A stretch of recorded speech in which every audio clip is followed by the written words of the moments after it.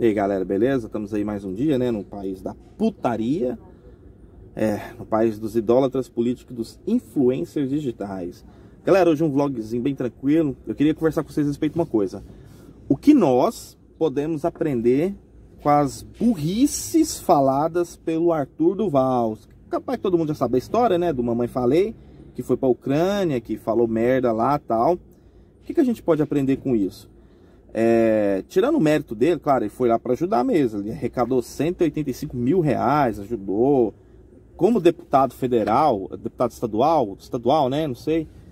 Ele parece que ele foi muito bom, pelo que eu tava olhando, assim, sabe? É, recusou verbas de gabinete. Enfim, cara, não vamos falar da vida dele, não. Quer falar do que a gente pode aprender, o que a gente pode aprender com o que ele falou. Primeira coisa que eu acho, assim, que eu tenho certeza que é. Ninguém é seu amigo, velho é como eu sempre falo, ninguém é seu amigo. Todo mundo te odeia. Todo mundo te odeia, o animal. Não adianta você achar que você tem amigo. Principalmente amigo virtual. Aqueles amiguinhos que você tem no Instagram, aqueles amiguinhos que você tem no Facebook, os seus coleguinhas do grupinho de WhatsApp que você tem lá do, do futebol. Esse povo te odeia, tá ligado? E o Anta lá, do Arthur, tava, tem grupos com certeza de WhatsApp, né? De motoqueiros, de futebol, papapá. Pá, pá. Ah, teve a brilhante ideia de falar a merda da mulher ucraniana, né? Que são bonitas, e falou um monte de palavrão, muita coisa pesada. O bicho tem namorada ainda, saca? No grupo de WhatsApp, o que, que aconteceu? Soltou o áudio dele, é lógico, cara. O cara é público, velho. As pessoas querem ver o mal do outro, entendeu? Essa é a verdade da, da vida. As pessoas querem ver o mal do outro. Então, o que a gente pode aprender? Que primeiro, a gente não tem amigo, cara. Você tem no máximo um amigo, no máximo um amigo seu. Você tem no máximo eu tenho só um amigo. O resto é coleguinha, amiguinho, isso aí não conta, tá ligado? Outra, cara, grupinho de WhatsApp, velho, eu acho que a gente, quando a gente chega a uma certa idade da vida, eu tenho 36. Cara, esses, esses grupinhos de WhatsApp é muito irrelevante, cara, saca? São grupinhos irrelevantes, são grupinhos à toa, que não serve pra porra nenhuma.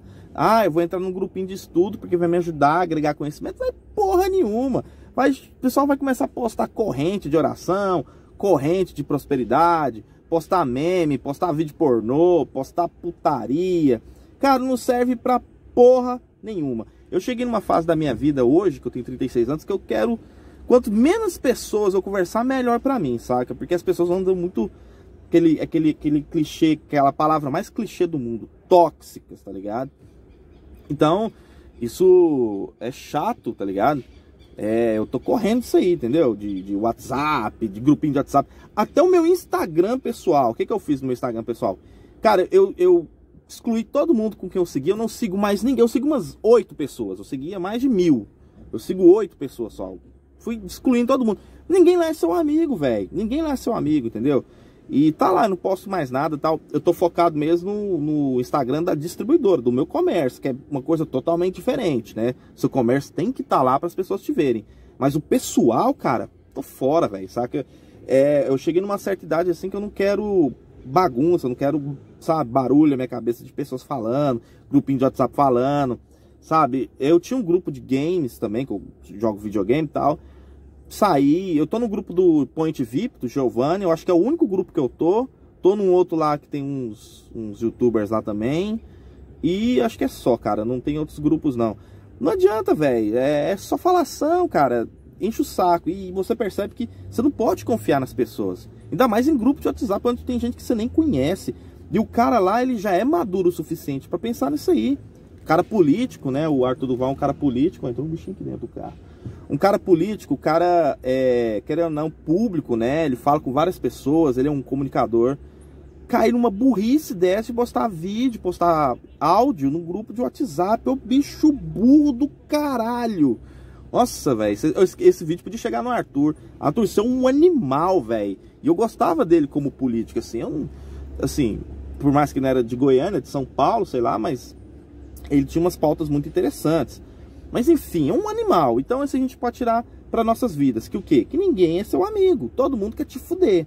Entendeu? Todo mundo quer te ferrar. Então você tem que ficar muito esperto com isso. E para os negócios? Para o seu comércio? O que, que a gente pode aprender com isso? Para o comércio? Fala para mim. Cara, primeira coisa é, que a gente pode aprender é o seguinte. Não falar demais, cara. Por isso que às vezes você fica aí no seu distribuidor, ou no seu comércio, ou em qualquer lugar que seja, chorando. Não chega a tossir. Meu comércio não vai pra frente, meu negócio não anda. Claro, velho, você abre a boca para falar tudo que você quer fazer, velho. Entendeu? Cara, se você tem um plano, velho, não comente, cara. As pessoas são invejosas, de verdade, cara. A boca grande, quando você tem uma língua muito grande, as coisas não tendem a dar certo para você. Por isso que você tem duas orelhas e uma boca para ouvir mais e falar menos. Então, se você tem planos na sua distribuidora, se tem planos no seu comércio, você tem vontade de fazer alguma coisa, cara, não fala. Anota no papel, enrola e engole, cara. Porque quando você começa a falar as coisas demais, deixa eu falar um negócio pra você. A inveja, ela existe, mano. Ela é uma força negativa, cara. Ela existe. A, a inveja existe. Isso aí é fato, entendeu? E ela parte da própria família. A inveja começa na família. Começa lá dentro da sua família, dos seus primos, dos seus tios, da sua tia, do seu pai, sei lá. Começa da família, sacou? Então, se você começar a abrir a boca demais para falar o que você quer fazer, ah, eu vou comprar um freezer hoje. Ah, amanhã, é, amanhã não, esse final de semana eu vou vender meu carro no feirão e vou gastar tudo em mercadoria. Mano, dá tudo errado, velho. Antes de você chegar no feirão, você bate o carro, entendeu? É assim que funciona, porque a inveja existe e ela é uma força muito negativa. Então, a gente aprende o seguinte: a não ficar falando demais. Igual o burro do Arthur fez, ele falou demais. A língua dele acabou com a carreira dele. Uma simples, é, um simples áudio de WhatsApp acabou com a carreira do cara. Você pensa o quão é forte isso, cara? Então, a mesma coisa pode acontecer com a gente, sabe? Se a gente falar demais, as coisas só atrapalham. Só atrapalham, entende? Então, é, tente não falar, assim, claro, você quer compartilhar, compartilhe com o seu amigo, você deve ter um amigo. Compartilhe com o seu amigo, às vezes você quer falar, desabafar. Um amigo, sua esposa, seu esposo. Ponto, velho, entendeu? Ponto final. Então, assim, é, é, eu percebo isso, saca? As pessoas querem falar demais, querem, querem colocar nas redes sociais as, as conquistas. Ah, vou comprar um carro, comprei um carro, posta, posta achar. Pra quê, mano? A pessoa tem uma tara de querer ser famoso também. Não sei pra que essa tara, velho, tá ligado? É, compra, sei lá, comprou um, uma motinha, comprou uma moto, posta chave no Instagram. Cara, não tem nada de errado nisso. O problema é que as pessoas têm inveja, velho. É igual aquele negócio que eu sempre falo. Se você posta uma foto no Instagram, você postou uma foto no Instagram, você vai ter 5, 10 curtidas, 15 no máximo, certo? Se você posta a mesma foto nos seus stories do Instagram, você vai ter 50, 100 visualizações. Entende? As pessoas elas não curtem o que você as suas conquistas, né? Não compactuam com as suas conquistas, mas querem ver o que você está fazendo, querem saber o que você está fazendo, tá de olho no que você está fazendo, ou para falar mal, para ficar com inveja de você, entende? É assim que funciona. A vida é assim, entendeu? Então, cara, é, é evitar. A gente esse aprendizado que eu tô tendo com as falas do animal lá do, do Arthur Duval, do Mamãe Falei, é isso. Primeiro que você não tem amigos, principalmente nas redes sociais, Instagram, não sei para que essa burrice de ter grupo de Instagram, se só serve para fuder o cara, ficar vendo videozinho pornô, ficar vendo memezinho, ah, mano, puta que pariu, velho, tá ligado? É, e não ficar falando demais, né, da, das suas, dos seus planos, dos seus projetos. Porque quando você fala demais, cara, tende a dar tudo errado. Ah, mas tem aquele velho ditado, ah, mas o que é do homem o bicho não come. É, mas mesmo assim, infelizmente, a força negativa da inveja ela fode o cara, tá ligado? Então é isso, o aprendizado de hoje é isso. Todo mundo já sabe, né, o que aconteceu lá do vídeo dele da Ucrânia e tal, enfim. É, é uma burrice total que ele fez.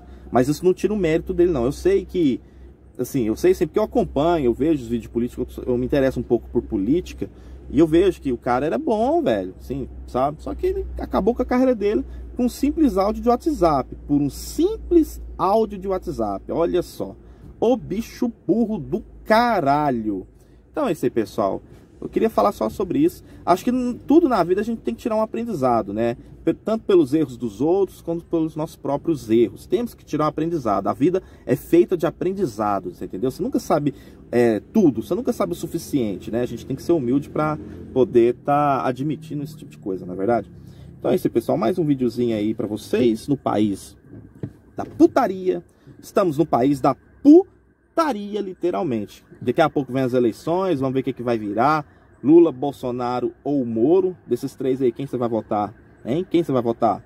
Lula, que roubou o país? Não, ele, ele é inocente. É mesmo, ele é inocente, o seu animal. O Bolsonaro, que é um porra do caralho também, negacionista de merda. Ah, o que, que ele fez de ruim? Nossa, velho, vou nem comentar mais. E o Moro, né, que vou votar nele, eu acho. Então é isso aí, mais um dia no País da Putaria, dos idólatras políticos e dos influências digitais. Valeu, falou e até, até mais. Que é o Walter da distribuidora Planalto. Sim, é ele mesmo. Cara, como é que vocês estão? O país da putaria! É!